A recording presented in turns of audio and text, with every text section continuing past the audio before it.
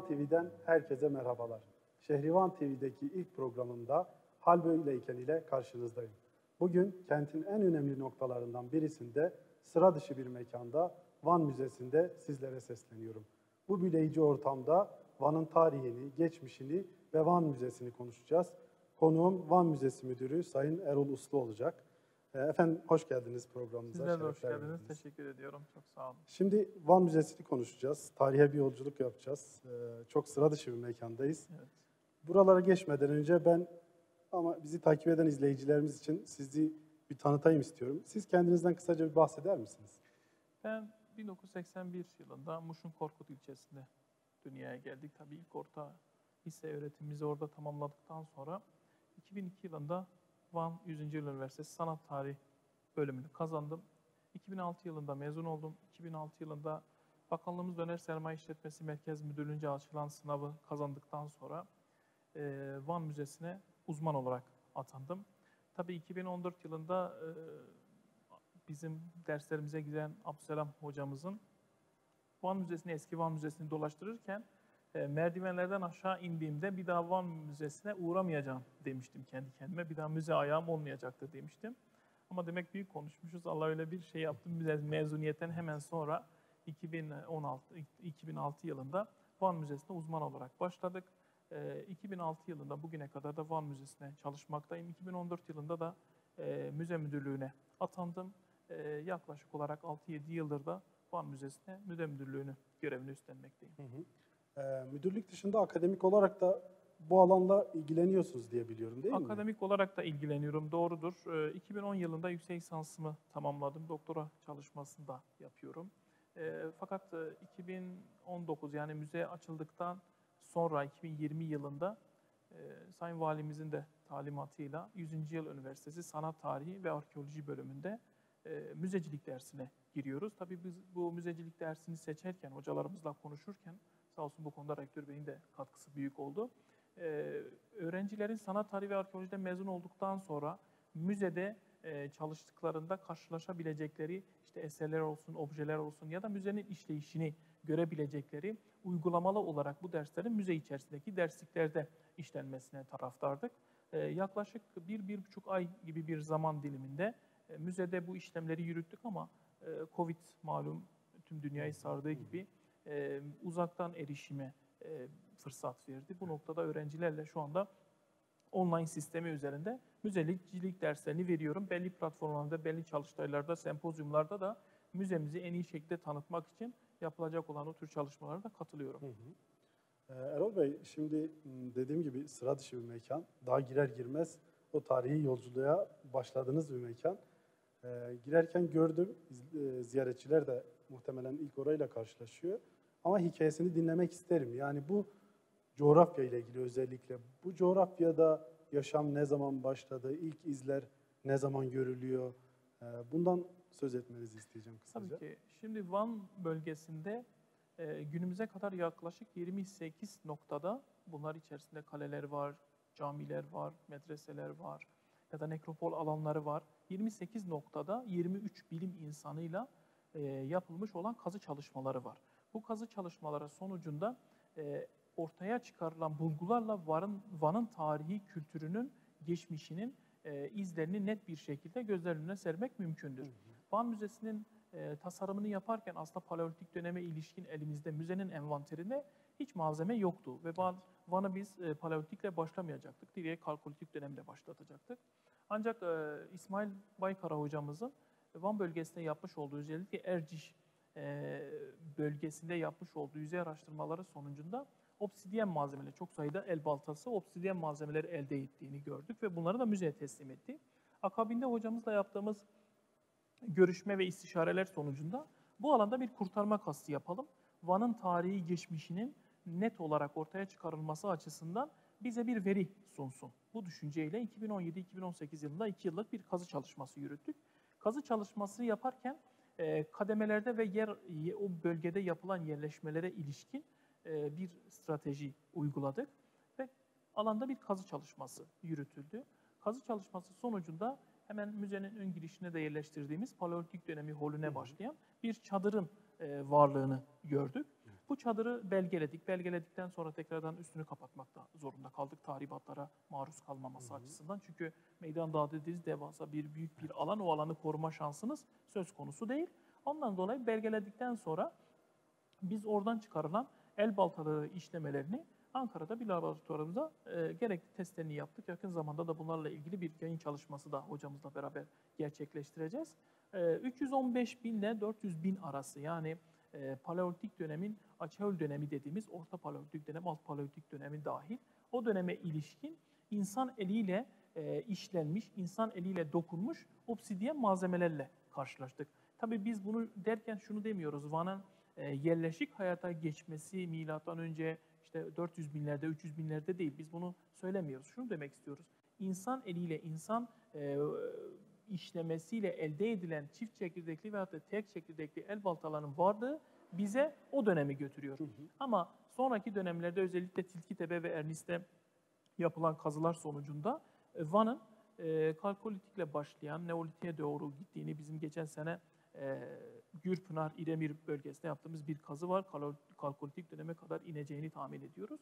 Van'ın yet- 7000 yıllık bir e, geçmişinin olduğu, kesintisiz bir e, tarihinin olduğunu söylemek e, mümkündür. Tabii e, dediğim gibi o zaman yolculuğunda e, en çok göze çarpan, bu müzeyi gezince de e, ziyaretçilere en çok en çok çarpan e, medeniyet Urartu Evet. medeniyeti. Evet. Şimdi burada müthiş eserler e, görebilme şansımız oldu. Tabii Urartular e, önemli bir medeniyet. E, bu topraklarda belki e, en önemli yatırımları, en büyük girişimleri, en böyle kalıcı eserleri yaptığını e, söyleyebileceğimiz bir medeniyet. E, haliyle izleyicilerimize de biraz bu Urartular üzerinden bir şeyler e, vermek gerekiyor. En başından başlamak gerekiyor. Yani Urartular nereden geldiler, Van'la olan iltisakları nasıl oluştu, neden Van ve tarih sahnesinde nasıl bir geçiş yaşadılar? Bir anda yok mu oldular? Nasıl bir dönüşüm yaşadılar? e, aslında biz Va- Urartuları milattan önce 9 ile 7. yüzyıllar arasında sıkıştırmaya çalışan bir şeyimiz var. Fakat biz Urartu ismini, direkt Urartu ismi anılmasa dahi sonradan karşımıza devlet olarak çıkacak ve bizim de kabul gördüğümüz başkent Tuşba olan Van olan Urartu devletinin e, 1274 yılında Asur kaynaklarında 1. Salman Asar'ın e, kaynaklarında e, aslında Asur şeylerden, Urartulardan bahsediyor. Tabi Urartulardan bahsederken direkt Urartu demiyor. Nairi ve Uruadri şehirleri diyor. Uruadri Asurlarda yüksek tepe, yüksek dağ anlamında. Nairi de düşman ülke aslında anlamında kullanıyorlar. Şimdi buraya baktığımız zaman e, Asur kaynaklarında kralların bu tarafa yani Uruadria'da Nairi bölgesine yapmış olduğu seferlerle 54 tane şehri kat ettiğini, işte Nairi'de 24 tane şehri e, yok ettiğini, krallarını kendilerine bağladığını gibi ibareler kullanıyor. Bu da bize şunu gösteriyor. Nairi ve e, Uruadri bölgeleri aslında feodal iki tane yapı olarak düşünmek lazım. Aşiretlerden oluşan, kendi içinde e, valilikleri olan, yerel yönetimleri olan bir merkezi e, merkezi bir yapı olmasa da iki ayrı devlet olarak düşünmek lazım. Bu iki ayrı devlet yani bize Urartu'nun e, 858'lerde değil de aslında 1200'lerde Urartu'nun varlığını, Urartu'nun bu bölgedeki varlığını ne yapıyor? Ispatlamış oluyor. Ancak Urartular her ne kadar o 400 yıllık bir yaşantı beylikler halinde yaşasa da Asurluların en şiddetli zamanlarında ve buraya uygulamış oldukları e, seferlerle As, e, Urartular bölgedeki Nairi ve Uradri e, beyliklerinde yer alan insanları, toplulukları, aşiretleri artık ne derseniz onları bir araya getirerek bir devlet kuruyor. İlk defa bir devlet kuruyor. Ve Urartular, e, Asurlular ilk defa kendi karşılarında bir devlet görüyorlar. Hep beylikler halinde, küçük küçük parçacıklar halinde ve e, kez parçala yut mantığıyla hareket ettiği bir yapıda e, yukarı deniz dediği Van bölgesindeki Van Gölü Havzası'nın etrafındaki yukarı deniz diye tanımladığı bu bölgede artık öyle rahat bir şekilde yutabileceği bir e, beyliklerin olmadığı devlet olarak olduğunu görünce zaten belli bir dönemden sonra kendisi geriye çekiliyor ve bu bölge artık e, her ne kadar seferleri yapılsa da karşısında bir devletin olduğunun e, farkına varıyor. Ama devlet olarak Urartuların Nairi ve Uruadri e, beyliklerini bir araya getirerek devlet olması Aramuyla başlıyor. Her ne kadar biz Sarduri ile başlasak dahi aslında bu Aramuyla başlıyor ama Aramu ya da Sarduri'nin e, kendi yazıtlarında işte İşbuini, e, ben e, Sarduri derken ya da e, işte Rusa babasını ben İşbuini Rusa, Rusa, Menua gibi yani kendi e, babalarına hitaben bir e, yazıt elde edilirken e, biz bunu Aramu'da göremiyoruz. Aramu'da bunu göremediğimiz için ve Aramu'nun çocuklarından herhangi birinde tahta çıkmadığını görüyoruz. Çünkü Aramu'ya ithaf edilecek bir ibare söz konusu değil. Büyük bir ihtimalle kaynaklar da onu gösteriyor. Nairi ve e, Uradri e, federal yapıların o e, iki büyük aşiretin, iki büyük yapının bir araya gelmesiyle belki dönemsel olarak bir dönemi e, Uradri'ye vermiştir. Bir dönemde Nairi'ye geçecekti. Nairi'ye geçtikten sonra artık e, tek ikinci bir feodal yapıya geçmeden tamamen Nairi şehriyle, Nairi e, be- fe- feodal yapısıyla e, devlet kuruyor ve artık e, kendi isimlerine Biani diyorlar biliyorsunuz Urartular. Biani ile e, tarih sahnesinde Urartu devleti olarak varlıklarını e, ortaya koyuyorlar. Ve uzun bir süre Ve uzun devam bir süre devlet. devam ediyor. Yaklaşık 270 yıllık bir e, dönemi kapsıyor. Tabii bu dönem za- e, zaman zarfı içerisinde e, Sarduri ile başlayan bir devlet yapılaşması olsa dahi e, İşpuini ve e, Minoa ile bu e, üst seviyelere varıyor. E, biliyorsunuz Anadolu'ya Asurlar yazılı kaynakları biz Urartulardan alıyoruz. Yani Urartular özellikle Sardur Burcu'nda bugün Van Kalesi hemen etek kısmındaki Sardur Burcu'na baktığımız zaman Asur diliyle yazılmış bir e, metin. Ama e, İşpuin ile beraber artık Urartular e, Ur- her ne kadar Asur çivi yazısını kullansalar da e, kendi dilini oluşturacak, kendi dillerine uygun bir e, yazıyı ortaya koyuyorlar ve bu tarih sayfasında artık hep sürekli kendi dilini kullanarak yapıyorlar. Şimdi e, tabii uzun bir süre hüküm sürüyorlar. Önemli eserler bırakıyorlar. Evet. Mühendislikte olsun, e, savaş alan- alanında olsun. E, tarih sahnesinden çekilmeleri nasıl oluyor? Yani bir anda mı yıkılan bir devletten Ee, söz ediyoruz? Urartu'yu güçlü e, Asur karşısında güçlendiren aslında Aramiler, Urar, Asurlarla Aramilerin savaşmalarından Urartular biraz istifade ediyor. Hani onlar o düşmanla uğraşırken bir yerde güçlenerek bütün beylikleri bir araya getirerek ya da aşiretleri bir araya getirerek güçlü bir devlet kurması Asur'un Aramilerle olan ilişkisinden kaynaklıdır. Tabi zaman ilerledikçe e, Urartuların yayılım alanları da genişliyor. Bu yayılım alanları genişlerken e, ister istemez e, Doğu üzerindeki seferler hep Van bölgesi üzerinden gerçekleşmesi gerekiyor. Kimmerler e, ve İskitler güneyden e, Urartu'yu sıkıştırıyor. Hı. Yukarıya doğru sıkıştırıyor. Sıkıştırınca artık e, Urartular 2. Sarduri ile birlikte güneye doğru genişleme kat edemiyorlar. Çünkü aşağıda hem Kimmerler ve çok e, böyle e, pek de tarifi olmayan bir İskit e, gücüyle karşılaşınca güneye ine- inemiyorlar. Artık kuzeye doğru ve e, batıya doğru bir ilerleyiş söz konusu oluyor. Ama İskit ve Kimmer e, akınları e, baş gösteriyor, hız kazanıyor. Bunlar arasında da e, Metlerle de bir şey süreci yaşandıktan sonra Urartu e, 585 yılında tarih sanayisinde krallık olarak ortadan kaldırılıyorlar. Urartu'nun genel yapısına baktığımızda, daha doğrusu Urartu kültürünün, Urartu yapısının e, bir bıçak gibi niye kesildiği sorusuna indiğimizde Urartu aslında merkezi bir yapıda ve devletsel özeline baktığımız zaman e, bir üst seviyede olan e, kral ve sülalesinin ailesinin olduğu elit bir kesimin yaşantısı var. Bir de aşağı kısımda e, normal halk, vatandaş var. Sanatında da kültüründe de biz bunu görüyoruz. Urartu sanatı ve kültürü de tamamen kralı bir saray kültürüne ait. Yani halkın kullanmış olduğu objeler ile e, krali e, üst düzeydeki insanların kullanmış olduğu e, malzemeler de çok farklılık arz ediyor. Bundan dolayı üstteki kral yapısının yok olmasıyla birlikte e, alttaki çok farklı ırklardan, farklı etnik yapılardan e, oluşan Urartuların ayakta durması devletsel olarak mümkün değil. Ama gene Urartu halkını oluşturan farklı gruplardaki aşiretler uzun süre ve burada yaşıyorlar. Bir süre işte Perslerin, Medlerin e, hükümranlığı altında da yaşadıklarını söylemek mümkün ama devletin göstermiş olduğu güçlü e, dinamik yapıyı maalesef gösteremiyorlar. Ama müzede de biz bunu fark ediyoruz. Evet. Ee, kentteki e, tarihi yapılarda, kalelerde de şunu diyebiliriz değil mi? Yani e, çokça medeniyetin geçtiği bu topraklarda belki de en çok gözle görülür eser Urartular tarafından Şimdi bırakıldı. Urartuları e, bu bölgede kalıcı kılan hem iklim, doğa e, ve yani Asurların da kendileri dediği gibi e, Uru Adri, yüksek dağlık, e, engebeli yapısı, e, Urartu'nun tarıma hayvancılığa verdiği önemle birlikte yerleşik bir düzene, yarı göçebe hayattan yerleşik bir düzene geçiyor. Ve Urartular e, sadece e, normal günlük hayatta da teşhirlerimizde görmüş olduğunuz objeler üzerinde ustalık sergilemiyor. Kaya işçilikleri de çok müthiştir. Onun dışında kaya işçiliğinin dışında madeni çok güzel bir şekilde kullanabiliyor.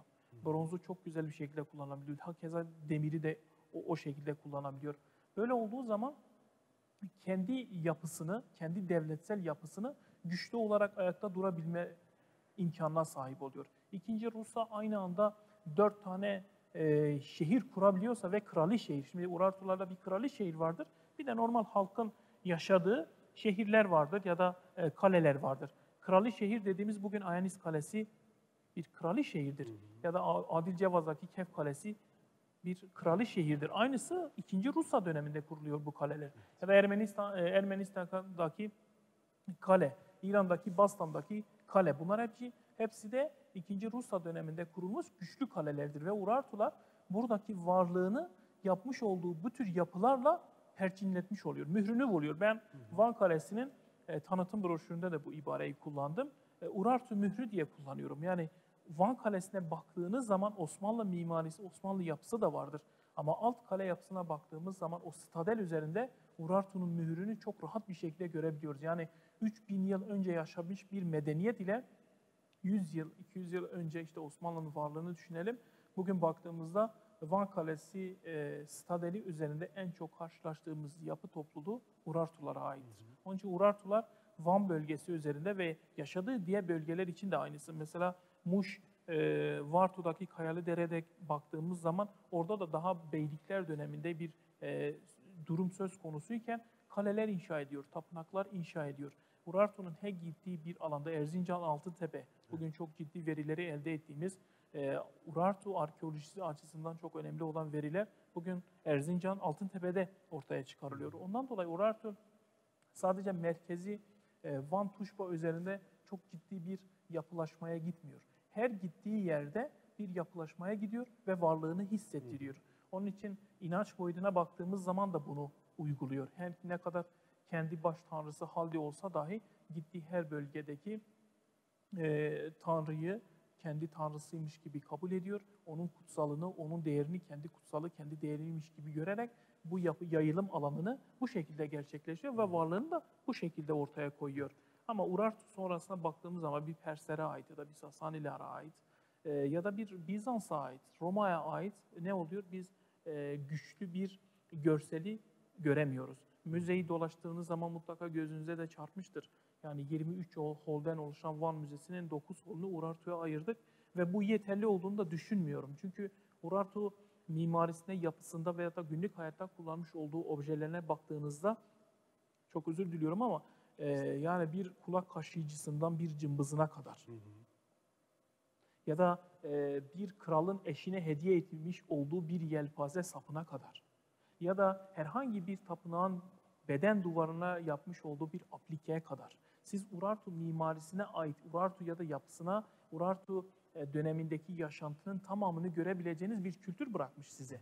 Ama ondan sonraki kültürleri öyle görmek maalesef mümkün değil.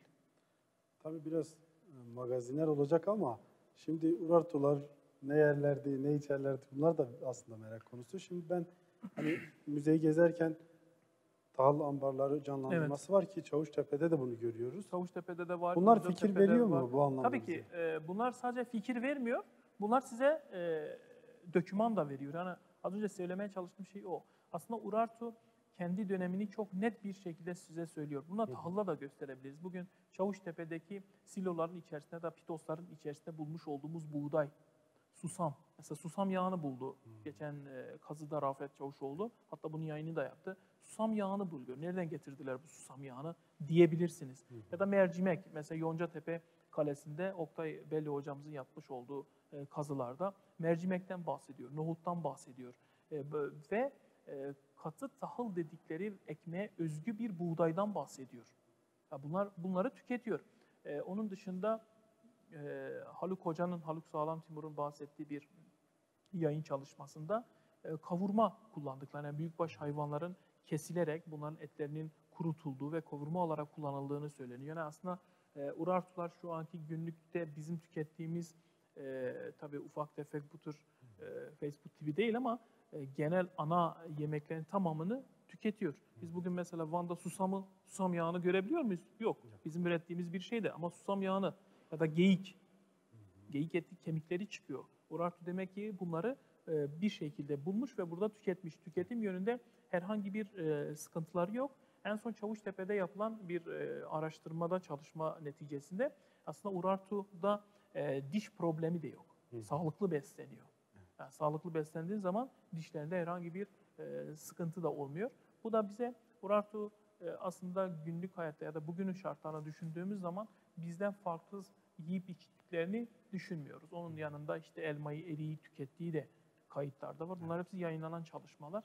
Genel anlamda bu tür e, meyve ve sebzeleri tükettiğini söylemek mümkün. Anladım.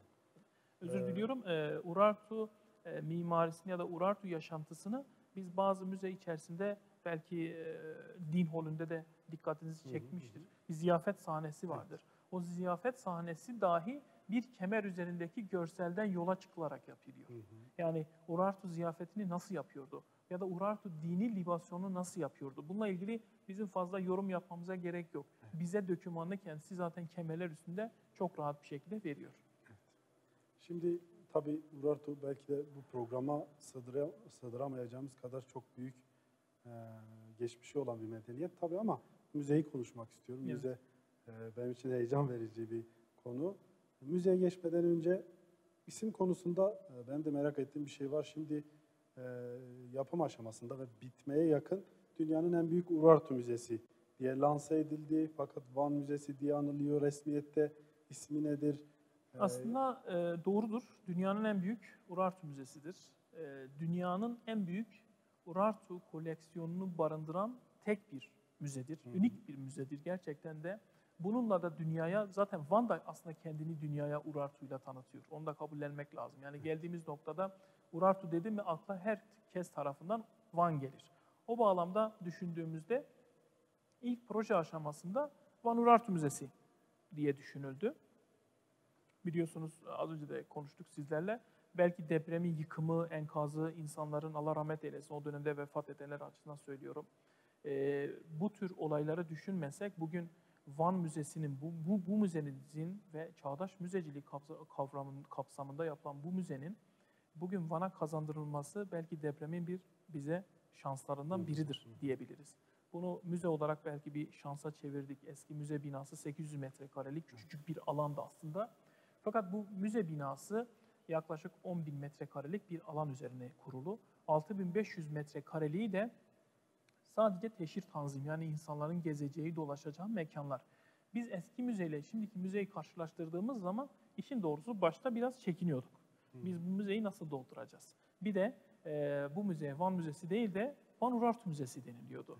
Şimdi bir şeye sadece bir şekil ya da bir ibare kullanacak olursanız diğer kültürleri bizim buradan almamız lazım.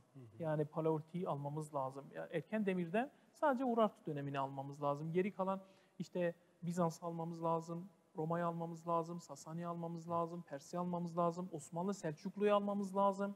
Fakat bugün e, Van Müzesi'ne giren bir insan müze ib- ibaresi kapsayıcı olduğu için bütün medeniyet yani Van'da yaşamış bütün medeniyetler ve herhangi birisi arasında ayrım yapmadan bir bütün olarak bir konsept olarak ele aldık. Ondan dolayı Van Urartu Müzesi'nin bu müzeye uygun olmadığı fikri ortaya çıktı. Fakat e, bir müze müdürü olarak benim görüşümü alsanız ben e, sadece bu müzenin, bu müze konseptinin Urartu'ya özgü olmasını isterdim. Yani bir etnografik bölümünün olmaması ya da bir sikke holünün değil de başka bir müze yani Van'da sadece Urartu Müzesi dediğimizde Urartu eserlerin sergilendiği bir müze. Bir başka noktada bir başka müzenin olması Hı hı. mantığı zaman gelir. Evet. Ee, Kültür Turizm Bakanlığımız da bu noktada eğer uygun görürse e, böyle bir adım atılabilir. Hı hı. Sadece buraya Van Müzesi denilir. Bir başka ad altında bir başka müze kurulur. O zaman buraya biz Van Urartu Müzesi diyebiliriz. Ve dünyaya da çok ciddi bir reklam olur. Bunu da söylemekte fayda var. Fakat mevcut durumda e, Van'daki bütün medeniyetlerin, bütün kültürlerin bir arada olduğu ve bir arada sergilendiği bir müzeye direktmen Urartu Müzesi demek e, pek de uygun olmasa gerek. O açıdan Urartu Müzesi değil de Van Müzesi kapsayıcı ibare kullanılıyor. Şimdi siz az önce şeye de değindiniz. Hani deprem aslında bir fırsata dönüştü ama Evet. bu benim gibi birçok Vanlı'nın da belki e, çok uzunca süre sitem ettiği de bir konuya da dönüştü. Biraz uzun süren bir inşaat süreci oldu. Tabii şimdi gezdikten sonra e, ben şahsen beklediğimize değdi Evet. diyebiliyorum. Ama iyi kötü tartışılan bir konu oldu. Şimdi o yapım aşaması, şimdiki mimarisi, yeri, konumu bunlar önemli etkenler. Nasıl Önemli. seçildi, nasıl yapıldı? Yeriyle ilgili e, dönemin valimiz e, Münir Karaloğlu tarafından buraya yapılması öngörüldü. Gerekçe de biliyorsunuz dışarıda yaklaşık pineli panel bir cam, ayna kompozit camlar var. Burada e, Van Tuşba yani Van Kalesi'nin e, görselinin Van Müzesi'ne yansıması düşüncesiyle yapıldı. Tabii uygun mudur değil midir bu belki konuşulup tartışılabilecek bir konu fakat gelinen noktada biz müzeyi devraldıktan sonra, inşaat hali bittikten sonra, devraldıktan sonra e, şunu düşündük. Biz bu müzeyi eski müze konseptiyle mi yapsak ya da gelişen Türkiye ortamında ya da Avrupa standartlarında bir müzeyi buraya uyarlayabilir miyiz? Fikirleri bizde baş gösterdi. Eserlerimize bakıyoruz. Aslında zengin bir koleksiyonumuz var. Yani 45 bin sergiye çıkarabileceğiniz bir eser zenginliğimiz var. Ama 45 bin eseri sergilemek insanların ilgisini çekebilecek bir düşüncede olmadığının fikrine vardık. Buna e, mukabil dönemin işte sağ olsun Harun Küçükaydı müze müdürümüzdü o zaman. Dedi ki e, Türkiye'de gelişen, Türkiye'de yenilenen e, bütün müzeleri dolaşalım. Ya olur mu olmaz mı? Olur. Yani bir zam- zamanımız alır ama en azından bir fikir oluşsun bize. Çünkü müzenin krakatörlüğü yok. Müzeyi e, bir hikaye oluşturacak bir önderimiz yok. O konularda bize e, rehberlik edecek biri yok. Sadece eser, elimizde bir bina var ve içine dolduracağımız bir eser var. Genel müdürlüğümüze paylaşıldı bu fikir. Ee, sağ olsunlar o onayladılar. Tamam dediler. Dolaşın. Nereye gitmek istiyorsanız gidin. Ama düzgün iş çıkarın bize dediler. Biz de iki arkadaşla birlikte müze müdürümüzü ya- yanına aldık. 16 gün direksiyonu ben kullandım. Şoförlüğü ben yaptım yani. Buradan başladık. Batman'dan, Mardin'den, Kahramanmaraş'tan, Gaziantep'ten, yani 16 gün Türkiye'de İzmir'den tutun Çanakkale'ye kadar, Et Müzesi'ne kadar, pardon Bursa'ya kadar, Çorum'a kadar, eee, Hatay Müzesi'ne kadar bütün müzeleri Türkiye'de değişen ve gelişen bütün müzeleri ki o dönemde de Kültür Bakanlığımız çağdaş müzecilik anlayışı kapsamında birçok müzeyi yeniliyordu ve birçok müzenin de temelini atıyordu. Bunlar bize fikir oluşsun. Bütün müzeleri dolaştık. Müzeleri dolaşırken de e, özellikle not aldığımız konular teşhiri dolaşıyorduk, görseller alıyorduk, fotoğraflar alıyorduk, vitrinler nasıl yaptınız, işte camlar nasıldır, bunların teknik detaylarını alıyorduk ama bizim özellikle müze müdürlerinden talebimiz şu oldu. E, vatandaşlar, ziyaretçiler tarafından eleştiri aldığınız, en çok eleştiri aldığınız nokta ne? Ne istiyorlar? Vatandaşlar bu müzeyi dolaştıklarında ya şu da olsaydı dedikleri noktalar nedir? Onları tek tek not aldık ve bizim Van Müzesi'ni aslında hep söylerim, bizim Van Müzesi'nin mantığını da oluşturan e, birçok müze müdürümüzden almış olduğumuz eleştiri notları bugün Van Müzesi'ni oluşturdu aslında. Yoksa biz bu geziyi yapmamış olsaydık, bu notları almamış olsaydık kesinlikle ortaya böyle bir müzenin çıkabileceğine ihtimali ben vermiyorum. Sonra bu çalışmayı geldik, Van'da bir değerledik. Kendi hollerimizde. 23 holü nasıl değerleyebiliriz? Hangi dönemi nereye yerleştirebiliriz? Bunu bir alt çalışmasını yaptık. Ondan sonra dosya halinde genel müdürlüğümüze götürdük. Ve orada bir sunum gerçekleştirildi. Sağ olsunlar beğendiler, tamam dediler. Dosyamızı aldılar. E, dosya ilgili gerekli olan bütün çalışmaları hızlı bir şekilde başladılar.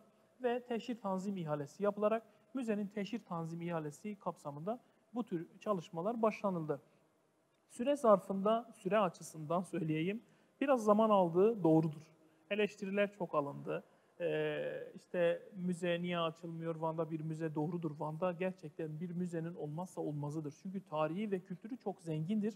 Ve insanlar bu tarihi kültürü bir arada görebilecekleri tek mekan da müzelerdir. Ondan dolayı ben bu konuda hak veriyorum. Fakat e, sizce de takdir edilecektir ki teşhir alanını dolaştığınızda her şeyi gerçekten çok titiz düşünmek zorunda kaldık. Kendimizi yeri geldiğine uzman ettik, yeri geldiğine normal bir vatandaş yerine koyduk. Bu vitrin karşısında neyi görmek istiyoruz, eseri nasıl görmek istiyoruz, bunun kurgusunu yapmak o kadar da kolay bir şey olmasa gerek. Bu noktada da ismini zikretmeden geçmek istemiyorum. Bizim müzenin e, teşhir tanzim çalışmasında danışmanlık hocalığı yapan Profesör Doktor Rafet Çavuşoğlu ve Profesör Doktor Gülsen Baş hocalarımızdır. Buradan da kendilerine teşekkür ediyorum. Birçok noktada bize teknik konularda e, ve önümüzü açma noktasında epey bir destekleri oldu. Ortaya böyle bir müze çıktı. Hı hı. Açılışı 2019, 20 Ağustos 2019 tarihinde gerçekleşince e, çok eleştiren ama e, iyi ki de geç oldu da bugün oldu, bu şekilde oldu diyen çok insanla karşılaştım. Hep olumlu eleştiriler aldık. Hiç olumsuz bugüne kadar gerçekten sadece e, e-mail üzerinden bir olumsuz bir hocamız e, bir eleştiride bulunmuştu. E, Van Müzesi'ne giderken e, çok fakir bir müze, ışıkları çok sönüktür diye bir eleştiri almıştık. Kendisine biz de dönüş yaptık. Dedi ki aslında biz Van Müzesi'nin ışıklarının kurgusunu kendimiz belirledik. Çünkü siz bir müzeyi ziyaret ettiğinizde eser odaklı ziyaret etmeniz lazım. Eser odaklı hareket etmeniz lazım. Yoksa bir AVM gibi her tarafta cıvıl cıvıl ışıklarla yanan bir yere gitmemek gerekir. Yani e, bir A ziyaretçisi B ziyaretçisinin ilgisini çekebilecek bir harekette bulunmaması lazım. Tamamen eser odaklı bir e, gezi olsun diye yaptığımızı söyleyince sağ olsunlar olgun karşıladı da tamam dedi o zaman sorun yoktur. Ortaya böyle bir müze çıktı. Böyle bir müzenin ortaya çıkmasında başta e, işte Sanayi ve Teknoloji Bakanlığı, genelde de DAKA, Doğu Anadolu Kalkınma Ajansı'na gerçekten çok minnettarız. Çok teşekkür ediyoruz. Başta belki böyle bir binanın kurgusunu yapmasalardı böyle güzel bir müze, müzede ortaya çıkmazdı. Akabinde teşhir tanzim çalışmaları kapsamında Bakanlığımız Kültür Varlıkları ve Müzeler Genel Müdürlüğü hiç aralıksız bir şekilde sürekli bizlerle iletişim kurarak, işte fikir alışverişi yaparak ve yeri geldiğinde kontrolleri buraya gelerek ortaya Van'a yakışacak bir müze nasıl olur düşüncesini hep paylaştık. Zaman da biraz buradan gittiğini söyleyelim. Sanırım e, biraz geç oldu ama çok güzel oldu diyen e, isimlerden birisi de benim. Gezdikten sonra en azından her gezdiğimde Evet. bunu hissediyorum. E, Şimdi muazzam eserler var. Hemen sağ tarafımızda bile bir Anzaf Kalkanı var. Müthiş bir canlandırmayla e, kazandırılmış ki müzede hem bu tür canlandırmalar var hem de gerçek eserler var. Şimdi bu kadar devasa bir alanda bu eserleri görünce aklıma gelmiyor değil. Şimdi önceki müze biraz küçük de bir 800 küçük ve metrekarelik iki katlı bir bir yapıydı. müze. Evet. Şimdi haliyle yeni eserler çıkarıldı tabii depolardan. Hı hı. Öyle düşünüyorum. Şimdi bu e- eserler çıkarılınca, buralar hazırlanınca hani depolarda olup da hadi çıkaralım, sergileyelim dediğiniz ve sizi en çok heyecanlandıran eserler olarak s- Şimdi sıralayacağınız biz eserler müze var mı? kurgusunu yaparken e, dedim ya birçok müzeyi dolaştık.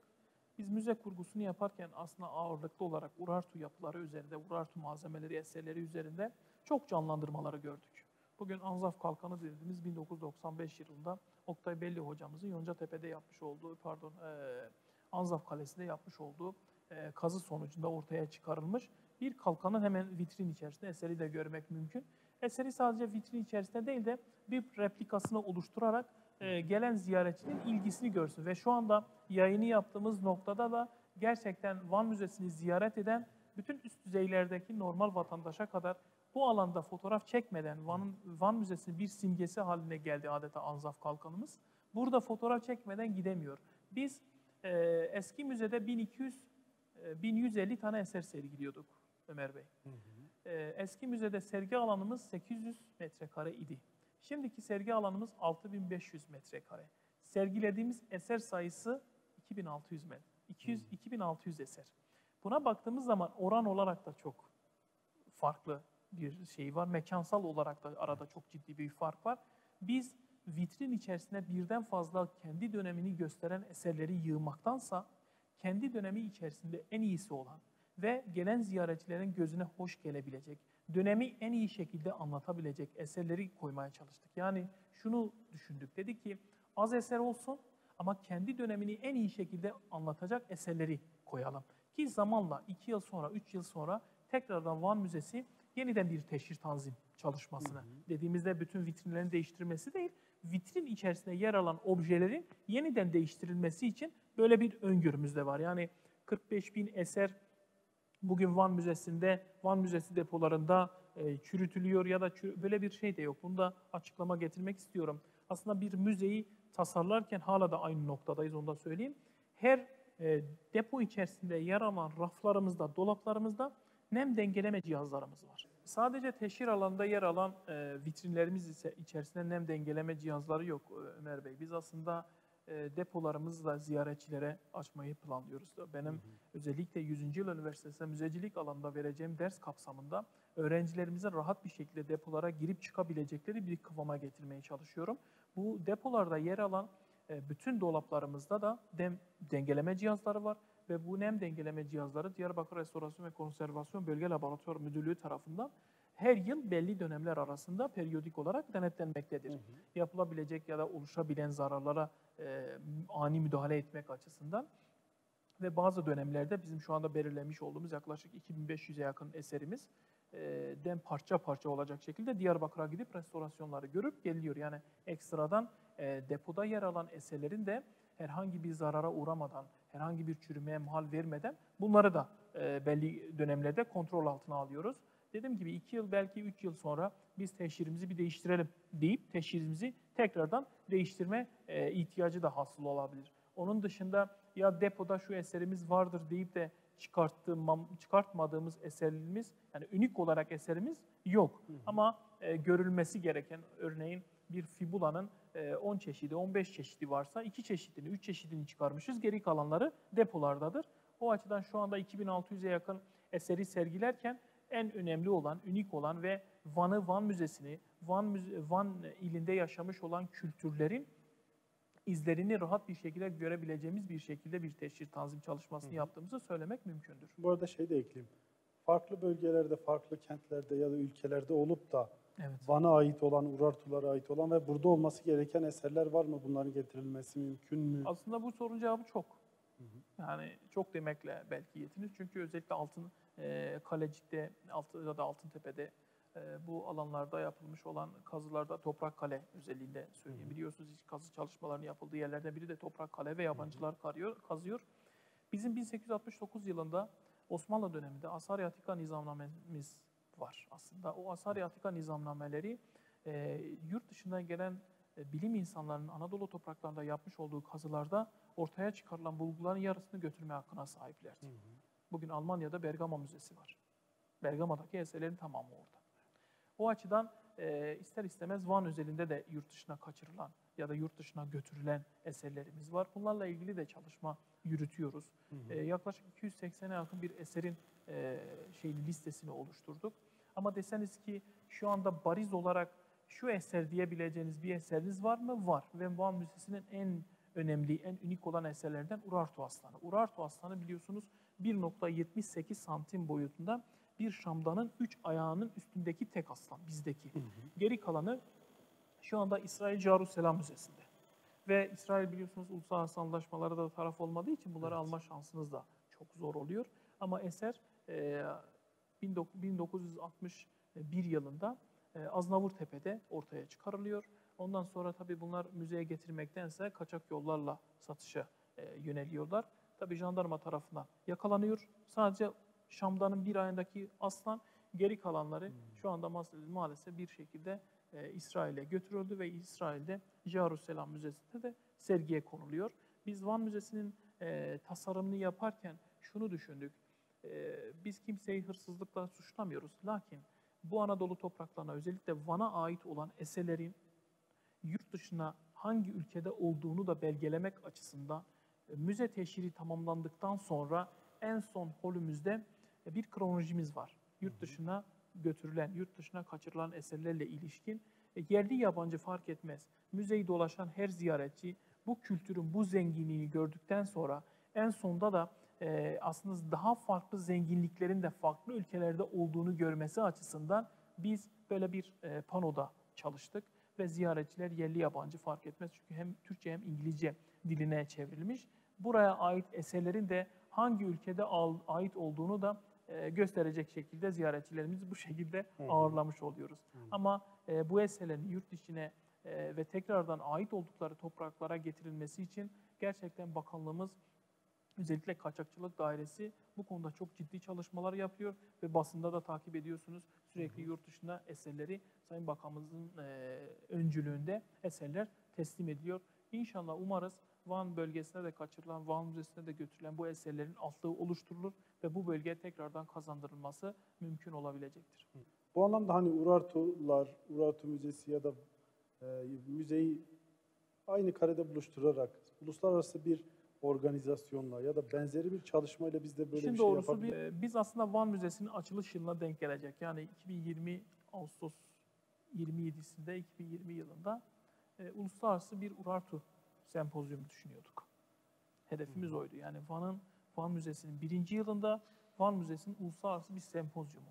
Yani bütün ülkelerin katılabileceği, bildiri sunabileceği çok geniş kapsamlı bir e, sunum düşünüyorduk. Bunun içerisinde 100. yıl üniversitemiz vardı, Doğu Anadolu Kalkınma Ajansı vardı, valiliğimiz vardı, Büyükşehir vardı, İpek Yolu Belediyesi olacaktı ve e, kesintisiz devam eden biliyorsunuz sadece Ayanis Kalemiz var bizim. Bin- 1989 yılından bugüne kesintisiz devam eden tek kale. Yani kazı çalışmaları 28 noktada devam ediyor. Bugün Çavuştepe Kalesi devam ediyor. Ya da Van Müze Başkanlığı'nda biz İremir'de kazı çalışması yapıyoruz. Ama kesintisiz devam eden tek kalemizdi. Kazı başkanlarımız da içinde olabileceği, Erkan Konyar hocamız dahil, içinde olabileceği geniş kapsamlı bir sempozyum düşünüyorduk. Fakat pandemi buna el vermedi.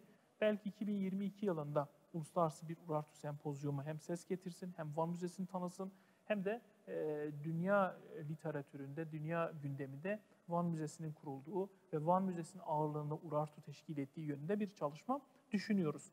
Onun dışında e, Urartu yılıyla ilgili e, yerelde bazı talepler var. Bu talepler de e, olgunlaştığı zaman en kısa sürede bakanlık nezdinde de bir girişimlerde bulunmayı düşünüyoruz. Öyle bir hedefimiz de var. Turkish Museum diye bizim bakanlığımızın bir sitesi var. Turkish Museum'da bütün müzelerimizin yapmış olduğu etkinlikleri orada takip etme şansını elde edebiliyorsunuz. Yani İstanbul'da bir vatandaşımız Van'a ne zaman gezeyim, Van Müzesi'nin etkinliği var mıdır ya da Van'da hangi aktiviteler var diye oraya girdiği zaman onları görebiliyor. Biz beş tane sergi düşündük. Yani Van Müzesi'ni bir kere gezen bir insanın, bir vatandaşın, bir ziyaretçinin ikinci bir sefer niye gideyim sorusuna cevap bulmamız lazım.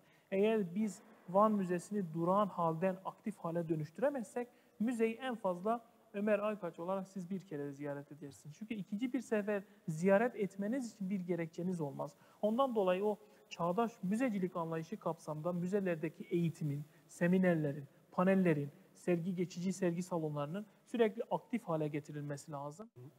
Şimdi siz de takdir edersiniz ki e, müzeyi gerçekten e, konuşarak bitiremeyecek kadar zengin bir müzeden söz ediyoruz. Fakat hani burada bir nokta koyup e, sizin de hani çalışma alanlarınızda olan e, Van şehrinden de bir bahsedip öyle kapatmak istiyorum ben açıkçası. Şimdi Van m, gerçekten birçok medeniyete ev sahipliği Ev yapmış bir sahipliği. kent. E, hani zenginlikleri fazla. Son yıllarda özellikle mesela Zernaki belki uluslararası anlamda ses getiren bir e, çıkış olmuştu. Hakeza eski Van şehri e, Vanlıların e, heyecanla beklediği bir e, belki projeye dönüşebilir. Bu anlamda hani kazılar da bünyenizde devam ettiği için Van bu alanda böyle bir çıkış yapabilir mi ya da bu alanların e, şu anki durumu nedir? E, turizmde yeni bir e, çılgının başlangıç Yani alanları bir, olabilirler hani bir? Van Müze Müdürü olarak çünkü bu işin paydaşları da var. Bu işin paydaşları olmadan bir Van Müze Müdürü olarak e, yapılan çalışmalara ilişkin şu an için detaylı bir bilgi vermekten kaçınırım. Çünkü Hı hı. paydaşlara bu sefer benim bir saygısızlığım olmuş oluyor ama e, şunu Vanlıların, şunu Van insanı ve bizim bilmemiz gerekir ki eski Van şehriyle ilgili şu anda çok ciddi bir çalışma yürütüyoruz. Bu- Bunun e, güçlü ayağı da Doğu Anadolu Kalkınma Ajansı'na olduğunu da söyleyeyim sizlere. E, yapılacak çalışma en kısa sürede, en kısa sürede e, Van insanlarıyla paylaşacağını da söyleyeyim. Bunu da bu kadar söyleyeyim. Ama eski Van şehrinin topyekün bir bütün olarak ayağa kaldırılması fikrine e, fikri aslında pek de gerçekçi olmadığını herkes kabul ediyor. Çünkü bahsettiğimiz 97 hektarlık devasa çok geniş bir alan. Bu alandaki tüm yapıları e, ayağa kaldırmak çok zordur. Hı hı. Fakat bir rota çizdik kendi kafamızda. Yani e, şöyle bir rota çizelim. Örneğin belki bu rota değişecek ama şu anki kafamızdaki rota şu. E, Kaya Çelebi Camisi'nin oradan gireceğiz biz. Kaya Çelebi Camisi'nden girdikten sonra birkaç tane dükkanın ayağa kaldırılması, işletilmesi, belli işletmelere vermesi. Akabinde e, Eski Van sokağından yürüyeceğiz.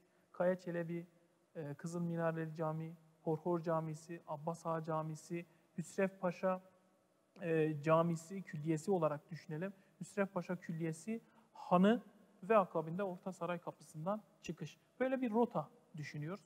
Bunun içerisinde de belki e, mini bir müzede tasarlıyorum kendi kafamda. Yani bir etnografya müzesi olabilecek bir müze.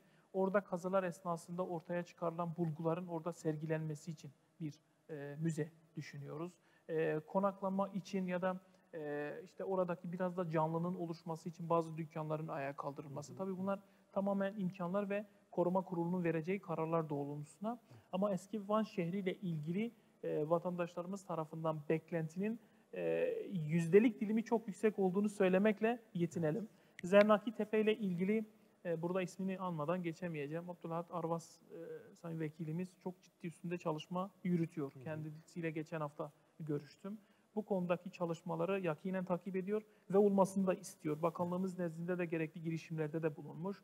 E, bir aksilik olmazsa Allah'ın izniyle diyelim e, 2021 yılında yani bu yıl içerisinde Zernaki Kalesi'ne müze başkanlığında e, ilk araştırmaları başlayacağımızı söyleyebilirim.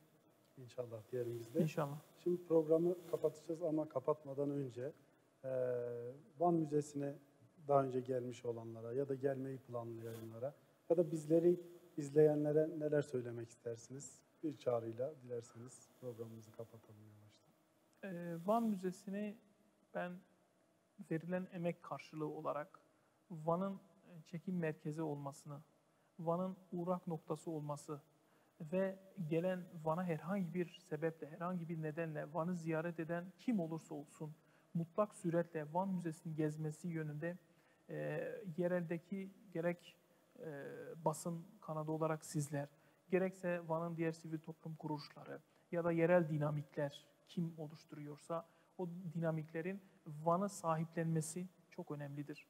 Van Müzesi e, içerisi çok güzel olabilir. Gerçekten insanlara tarihi bir yolculuğu sürüklüyor. insanları farklı bir aleme götürüyor.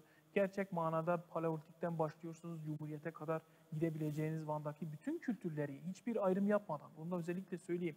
Yani Van'da, Van Müzesi'nde şu kültür Van'da yaşamıştı ama bu kültürün izini Van'da, Van Müzesi'nde yoktur. Van Müzesi'nde yok ettiler diyebilecek hiçbir e, kültür yoktur, hiçbir kalıntı yoktur.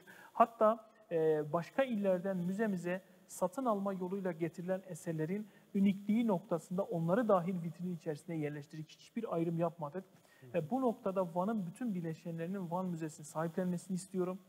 Van Müzesi'ni sahiplendikçe Van Müzesi'ni çekim merkezi haline getirebiliriz. Van'ın en cazibe merkezleri haline getirebiliriz. Van'a insanlar geldiğinde Ömer Bey ben nereye gideyim dediğinde ilk kafanızda Van Müzesi olması gerektiğini söylüyoruz. Bunun için biz üstümüze müze olarak üstümüze düşeni yapacağız. Müzenin tanıtımı noktasında, müzenin işte broşürlerinden tanıtımlarına konusunda veya da uluslararası e, yapılacak bütün etkinliklerde, bütün sempozyumlarda, bütün panellerde müzeyi en iyi şekilde tanıtma noktasında üstümüze düşeni biz yapacağız. Devam Son olarak şunu söylemek istiyorum. Gök kubbenin altındaki en güzel coğrafya ve yeryüzünün en güzel iklimine sahip olan ülkemizin en doğusunda yer alan, kültürle sanatın, tarihle estetiğin buluştuğu ve dünya Urartu koleksiyonu açısından tek olan Van Müzesi'ne ziyaret etmeyi herkesi davet ediyorum. Ben çok teşekkür ediyoruz. Biz teşekkür Bizi ediyoruz. Güzel ortamda ağırladınız. Ee, müthiş bir atmosferde sohbet etme şansı bulduk. Ee, Şehrivan TV'de Hal Böyleyken programında sizlerle beraber olduk. Ee, Van Müzesi'nde bu büyüleyici ortamda konuğumuz Van Müze Müdürü Erol Uslu oldu. Ben programı kapatmadan önce bizleri izleyen siz değerli izleyicilerimize bir çağrıda bulunmak istiyorum. Dünyanın en büyük Urartu Müzesi ünvanına sahip bu müzeye mutlaka gelin. Müzeyi gezin, buradaki tarihi yolculuğa mutlaka şahitlik edin. Hemen akabinde Urartu Kalesi'ne çıkın. Şehre bir de Urartuların gözünden bakın derim. Bizi izlediğiniz için teşekkür ediyoruz. Sağlıcakla kalın.